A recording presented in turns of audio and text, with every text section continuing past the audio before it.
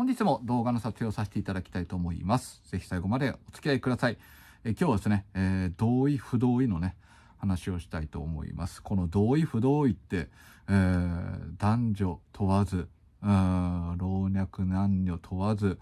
今後、もう法律は施行してますからね、えー、誰しもが被害者に、誰しもが加害者になる問題だと思いますし、しかも答えがね、出てないと。不同意っていうのは定義があるけど、同意があったってことが定義がないので、だから正直、同意があったことを証明するっていうことが、そもそも、悪魔の証明ってことで答えがないみたいなことになるんですけど僕はですねいろんなコメンテーターとかメディアだったりとかいろんな人がこの話題に触れてると思うんですけど僕は2点言いたいことがあって1点目は同意をその人は取ったことがあって今も取り続けてこの後も取り続けるのかってことを言いたいんですよ。で2023年の7月だとだったと思うんですけどそこから不同意性交罪ができてでもともとそれまでの強制わいせつ強制性交罪の場合は同意があったかなかったって想定が一つだったんですよね。でそっから先でこうなった時に同意があったかなかったっていうところをしっかりと書類で取るとかまあ今だったら弁護士のアプリとかがあってそれをあなたはしてますかっていうことをまずそのこの話題に捉える人は言わないといけないと思う。ちなみに僕は20 2023年の7月だったと思うんですけど、そこから不同意性交罪ができてからは性行為をしたことがないから、あまあ同意書作ってないし取ってない。そっから前は一回も同意書だったりとか、同まあ口頭では確認はありますけど、契約書だったりとかそういうので取ったことはないですね。だからそっから先のところで言われたら、訴えられたら同意があったってことは認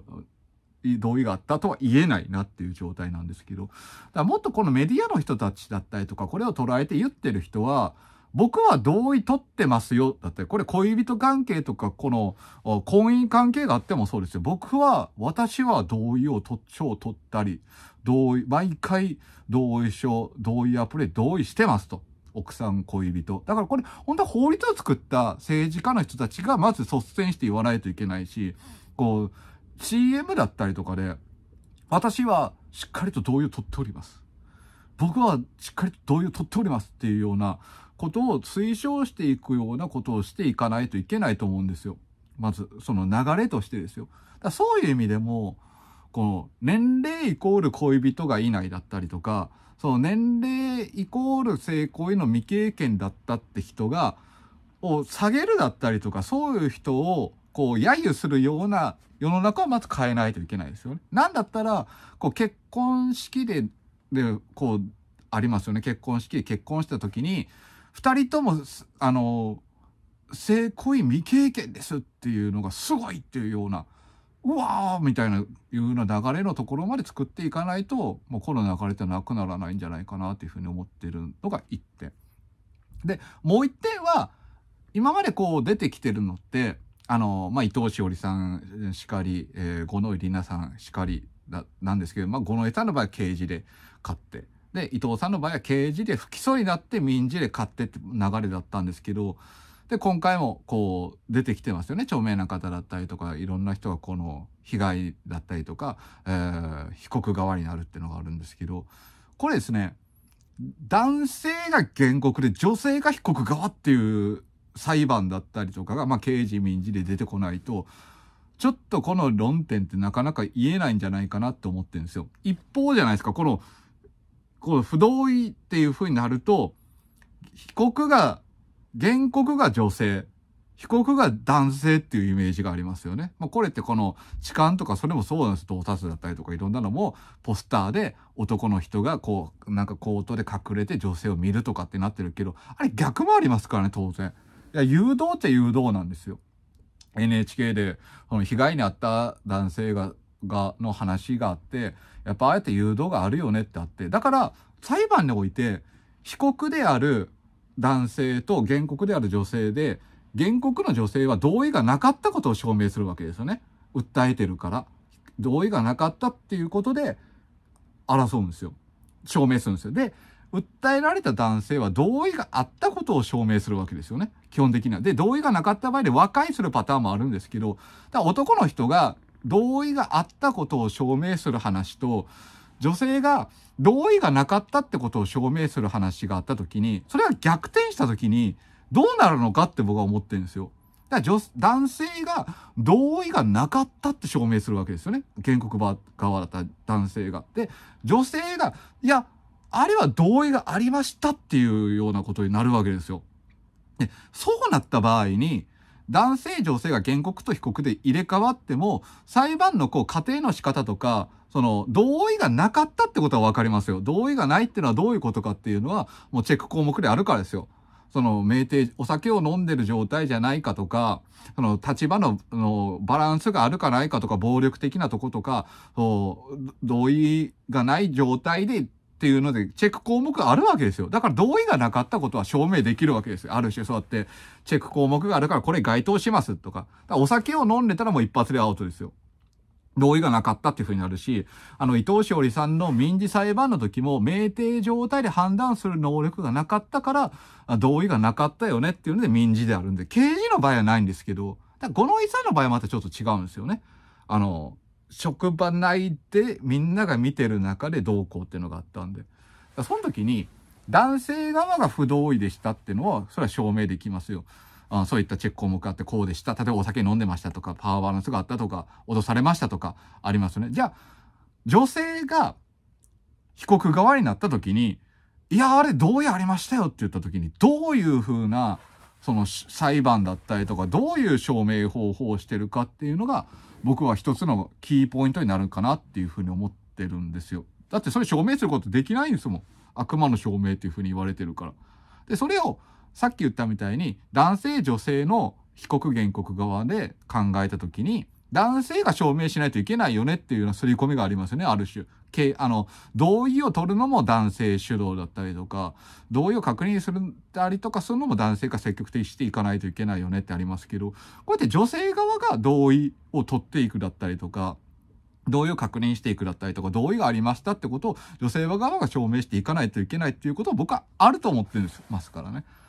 そういうところで、この最初言った、その同意アプリとか同意書っていうのを、まあ、国だったりとか著名な人たちが積極的に発信して自分たちはしっかりと同意取ってますと。うんちゃんと同意取って性行為をしておりますっていうのを積極的に言っていかないといけないと思ってるしな、それが放送法上に引っかかるとか、まあいろんなことがあるんでしょうけど、でもそれはやっぱり言わないといけないですよね。そうやって法律があるし、最低でも政治家の人たちは。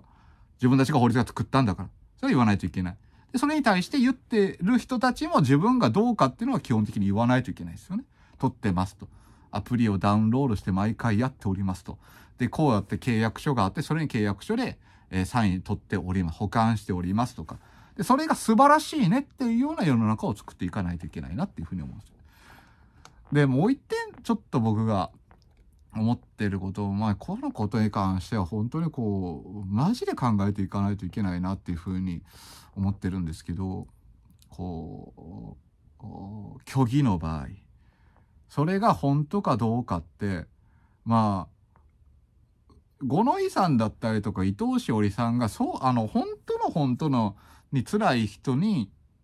作ってほしいって言って道しるべを作ったと思うんですけど、それを虚偽の場合は、どうなのかってことです。これ言ったら男性も女性の逆もありますからね。えー、今回は被告側、訴えられた側がそれが虚偽ですよっていう風な、あ届け出を出したんですよね。これもだから女性があれ男性が不同意って言ってますけどあれ嘘ですよっていう風な流れっていうのもできると思うしだからその時に、えー、お互い同意があったか同意がなかったっていうのをそれぞれ証明しないといけないし、で、これが2020、最近言ったみたいに2023年7月より以前の法律だからこれができるんですよね。お酒を飲んでる状態でしたって言った時点で、どんなに言ってもお酒を飲んでたら、あの、不同意になるってことですよ。だから、僕これですね、他の動画でも言ったことがあるんですけど、お酒を飲んで、だからお酒デートっていうんですか？っていうのはもう基本的にありえないっていう風になりますよね。だから現地解散ですよ。あの、お酒飲んだら。もう飲んだら代行で買えるとか、車で来てたら代行で買えるってありますよね。お酒飲んだら。もうそれと同じレベルで、お酒を一滴でも飲んだら、もう買える。恋人関係だろうが、婚姻関係があると、そういう行為をしないと。お互い。だって同意があるって言ってもお酒飲んでる状態だから確認できないからですよ。そういう意味で言ったらお酒を提供してる側も、まあ、この後二人がどっか行くなと思ったらあのお酒飲んでるんであのお互いちょっと今日は解散でっていうような方に言わないといけなくなっていくかもしれないですよね。だからおさこう親睦を図ったりとかこの人と仲良くなりたいなっていうふうになった時に飲み一緒行こうっていうのをまず考えないといけないですよね。もう現地集合現地解散みたいなそういう流れを作っていかないといけないなっていうふうに、まあ、思ったりもしてるんでお酒はね怖いですよそういうふうに意味で言ったら。だね本当この同意同意がないっていうのをもっとこう考えていかないといけないし最初に言ったみたいに誰しもが被害者になるし誰しもが加害者になりますからしかもその答えっていうのがすごくない。で結構僕は思ってるのが弁護士が監修したアプリがありますよね。あの同意アプリって。だったりとか、まあ、その同意書みたいなのがありますね。それ多分弁護士とかがいろんな作ってるテンプレートがあると思うんですよ。そのこれが同意書です。そのこれが同意アプリになりますって。で結局のところそれ裁判になったらその同意書にしても同意アプリにしてもまあ、有効ではないと思いますよ。お酒飲んでる状態じゃないかどうかってわからないし、お酒飲んでる状態でサインさせられましたとか、お酒飲んでる状態とか脅されてとか、えー、権力でとかで無理やりさせられましたったら、その同意書取ってようが、同意アプリがあろうが意味がないわけじゃないですか。だけど、同意書を書く人とか、同意書のアプリで同意する人って、その後々あった時に、その人を被告として訴える確率が下がるっていう効果はあると思うんですよ。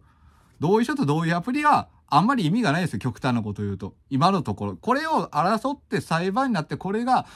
通りましたっていう風になればいいですよ。その、まだ裁判とか出てないからですよ。その刑事にしても民事にしても。だけど、その同意アプリとか同意書を取ることによって、自分、相手が自分を訴えてくるってことの可能性は下げることができると思うんですよ。だから結局この同意を、アプリとか同意書を取るときに、いいよ、同意しますっていう風なアプリを例えばするとか、いや、それ、そんな冷めるからとか、そんな気持ち冷めるからないわっていう人は、じゃあそれで解散ってすればいいんですよ。そういう意味で言ったら。だから今度ほんども男性とからとか女性からとか同意を取っていくっていうのをベースにしていかないと本当の本当にわからないです。しかもこれ法律が施行してますからね。で、ややこしいのが、これ法律の法学、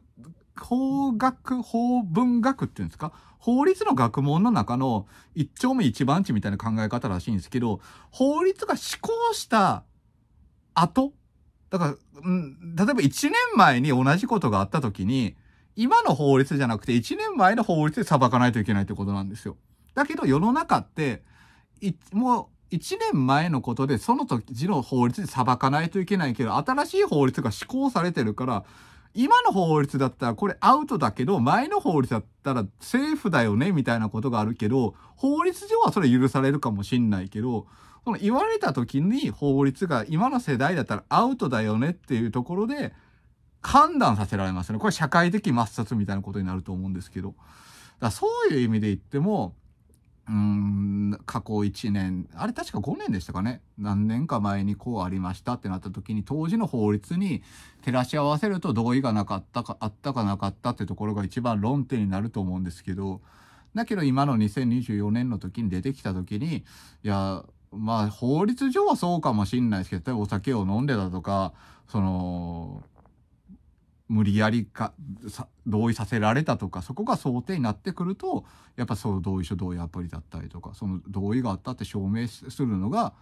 今は困難ですよね。だからその困難があってそういう行為をしてる人は本当に今後どうなるか分かんないですよ。である種ある種ですよある種証明することができるってなったら僕は不倫だと思ってますからね。不倫って今まで最悪だったと思うんですけど、例えば不倫関係があって、不倫関係でこう、あの、肉体関係があると、離婚する条項の中の一つにあるんですよ。こういうふうにやったら離婚する条項っていうのがあって、その、まあ、例えば別居が長いとか、あの、暴力があるとかいろんな要項があって、それで別れるってことができるんですけど、不倫関係で、その肉体関係が不倫相手と会った時に、こうやって離婚できる条項の中に引っかかるんですけど、私たちは不倫関係ですっていうのが出て、で、その、不倫相手がその奥さんにすいませんって言ったりするじゃないですか。ある種これは同意があったって言いますかね。不倫してあの人最悪だわっていう風な世の中って今まであったんですけど、確かに最悪だけど、同意はあるのよねっていう風になってくるんじゃないかなって僕は思ってて。確かに最悪ですよ。奥さんも裏切ったし、ファンも裏切ったし、子供を裏切ってると。そういう風になるけど、でまあ同意あるなみたいな。同意ああるぞ。いう風になった時に、そうなると本当の本当の本当の本当に不倫って悪なのかなっていう風になってきますよね。なんでかっていうと、不同意が一番ダメだからです。そういう風になってくると。だからもう今後、そのいろんなニュースとかで、あの不倫、この人不倫です。さあ叩きましょうってやっても、いやでもまあ同意取ってるからね。もっと目を向けないといけないところがあるんじゃない？だったら、同意があったか同意があるってどういうことかっていうのを考えようよっていう方がいいんじゃないかなっていうふうに僕は思ってるんで皆さんもですねこれ人事じゃないので是非ですねあの同意がある同意がないっていうことはどうかっていうのを考えないといけないし、えー、今後ねそういうことがあった時はあお互いに同意を取ろう取るよね。それが、マナーだよねこの手優しいよねっていうような世の中づくりが必要だと思っております。